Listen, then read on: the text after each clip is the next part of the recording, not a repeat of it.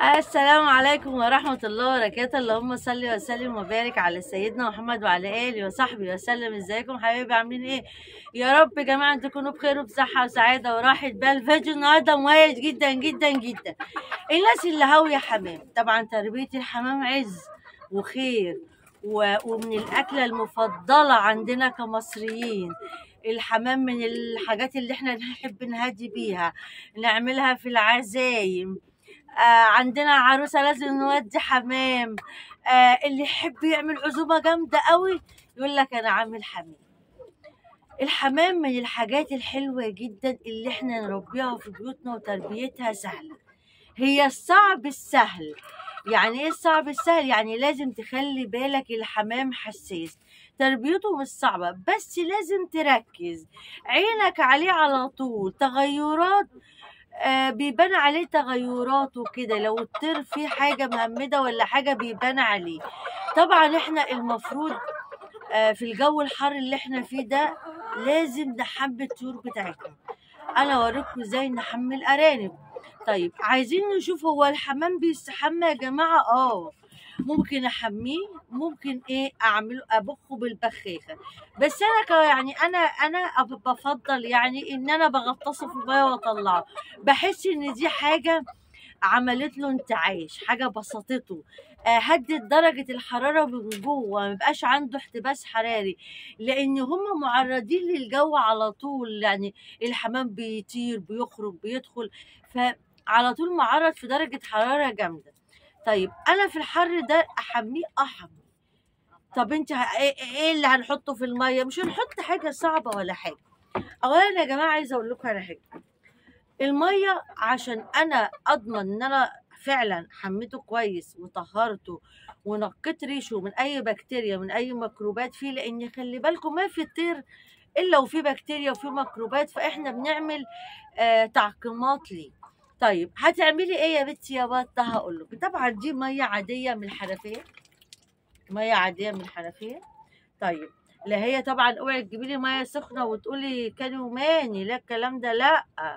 يعني مية من الحنفية عادية خالص. هتحطي فيها ملح. ملح الأبيض بتاعنا اللي إحنا بنستخدمه.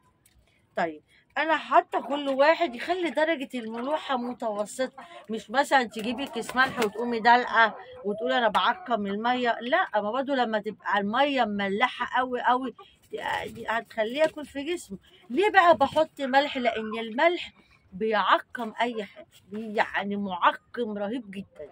ممكن على فكرة اللي مش عايز يغطس الحمام في الجردة زي ما أنا هغطسه لا يجيب البخاخة بس يعمل نفس اللي أنا بعمله في البخاخة يحط في البخاخة المية ويبخ. يعمل له عملية ترطيب. طيب ادي يا بنتي يا بطة دوبنا الملح أهو في المية. خلاص؟ طيب كده خلاص. طب هنعمل إيه بقى تاني؟ حاجة بسيطة قوي هو المفروض في شامبو للحمام على فكرة. بس أنا يعني كبطة يعني أنا بستسهل وما يعني بعد يعني بمعنى أصح يعني أو كله زي بعض يعني كله شامبو. فكيس شامبو أبو جنيه ده الحاجة الرخيصة دي. بجيبه كده فضيه في المية. ليه يا بنتي يا بطة؟ أنا بقى بطهر بقى الحمام بتاعي بنضفه و آه، ببعد عنه أي بكتيريا. آه، على فكرة الحركة دي حلوة. ده للناس بقى اللي هاوية تربية حمام وللناس اللي هي حابة بقى ال- التربية المظبوطه وإنها يعني في ناس بتفكر إنها تربي الأرانب عشوائي الأرانب ما بترباش عشوائي. الطريقة الناجحة في تربية الأرانب إنك إزاي تهتمي بيها إزاي تعقميها لأن الأرانب من الحاجات اللي بتنشط فيها بكتيريا جامدة جدا برضو. إزاي تحقنيها الحقنة الشهرية بتاعتها اللي هي بتاعت الجرب ودي بتتعمل تحت جلده بسيطة جدا. التربية يا جماعة آه، صنعة. على فكرة التربية مش كده. التربية صنعة. صنعة يعني إيه صنعة؟ يعني تجارب بقى وتكتيك وتعب وخسائر كتير وبعدين تتعلم من خسارتك. فأصبحت الصنعة ما هيش أصبحت كده تربية عشوائية. طبعا حطينا الملح مع الشامبو.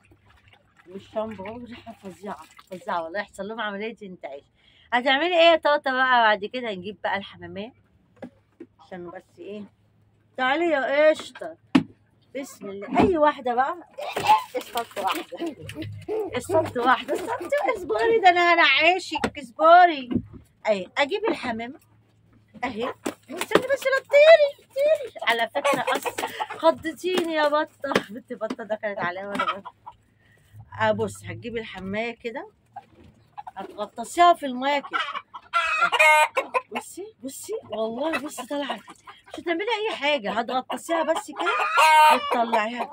بصي هتحسي انها ترطبت عايزة أقول لك في الصيف هتعمليها مرتين بس بس يفضل ان انت تعملي لها الحركة دي في الظهريه وفي الشتاء مرة واحدة بس. دي ليه بقى في الظهرية علشان اللي أشعة الشمس وكده فتقوم هي إيه تنشف بسرعة. بصي بقى اقسم بالله. الحمامة بقت عسل. دي الطريقة اللي هتعملها هتقوم مغطساها كده بس دي بقى انت بهدلتيني. هتغطسيها كده وتطلعيها كده. تعملي الحركة دي مع كل الحمام عندك.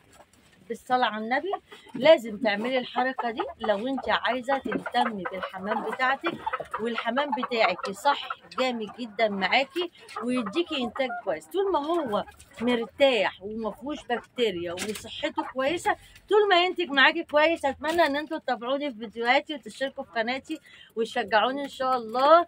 وعندنا فيديوهات كتيرة قوي الأيام الجاية كلها فيها مفاجآت تابعوني. واسيبكم في رعاية الله وأمنه والسلام عليكم ورحمة الله وبركاته.